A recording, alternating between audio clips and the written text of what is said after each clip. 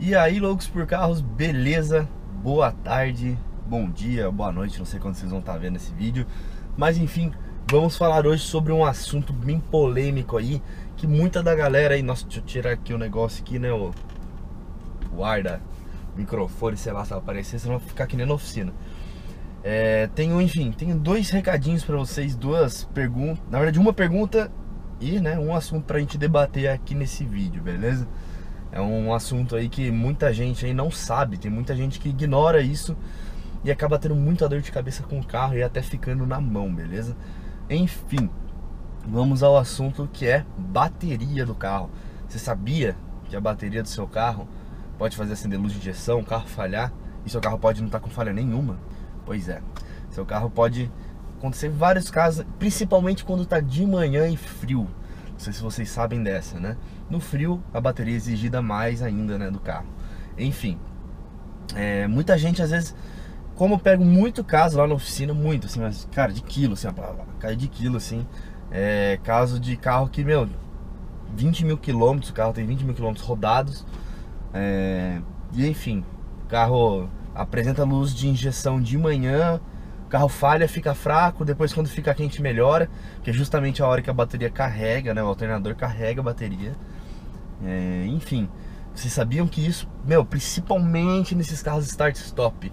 Olha, Mercedes, BMW e Audi, parou de funcionar o start-stop do carro, assim, ó. Putz, eu antes funcionava o start-stop, agora dá erro. O Golf, né, até sido esses novos também. É, não acende mais, não dá mais, não dá mais liga, não, né, não simplesmente para de funcionar o sistema. Meu, primeira coisa, sério mesmo, primeira coisa que vocês têm que desconfiar é a bateria, por incrível que pareça. Comecem pela bateria. Ai, meu carro fica fraco de manhã, meu carro falha, mas ó, a vela tá boa, bobina, bico, compressão do motor, enfim. Tem, uma, tem um pessoal que às vezes faz um teste completo no carro, acaba não descobrindo nada, gasta tempo, dinheiro. E é só a bateria, galera. Eu tô falando isso pra vocês porque a gente pega muito caso desse. E testar a bateria é muito mais simples do que você tirar a vela para ver, bico. Enfim, é, comecem pela bateria. Bateria é um item vital do carro. A bateria ela alimenta os módulos do carro. Ou seja, a ECU controla a injeção do carro, correção, enfim, tudo do carro. Tudo que engloba né, a parte de alimentação do carro.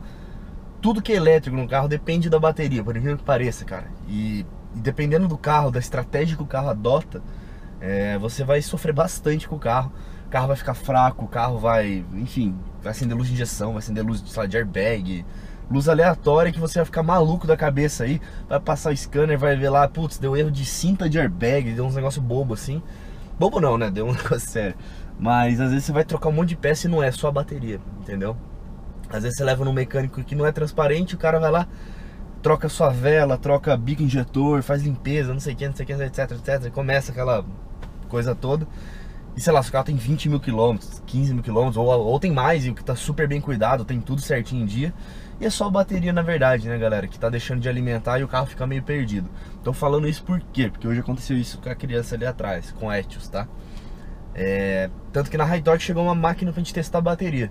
Agora eu consigo, eu consigo, não é prever quando a bateria vai acabar, mas eu consigo ver a vida útil da bateria. Então, meu, testem sempre a bateria. E você que é mecânico, quando o carro do seu cliente parar na revisão, sempre testa a bateria do seu cliente e mantenha ele avisado, ó, sua bateria está com tantos por cento de vida útil.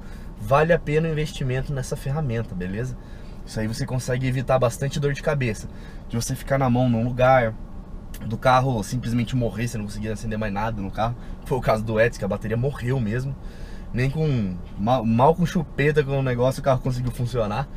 É, ou esses probleminhas intermitentes, que às vezes é aquele cliente que volta sempre na oficina.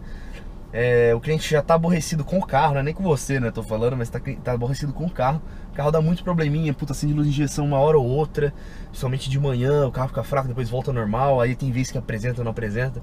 Enfim, meu, vale testar a bateria, tá? Essa é uma dica que eu tô dando pra vocês, pode salvar muita gente aí de gastar dinheiro à toa, beleza?